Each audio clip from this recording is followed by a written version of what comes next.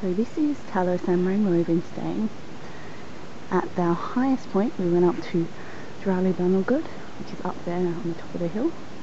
And where we came from the other day is down over this hill, down at that river.